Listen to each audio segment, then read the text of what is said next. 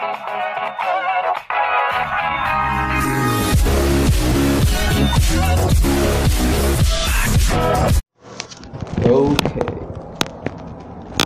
Here we go.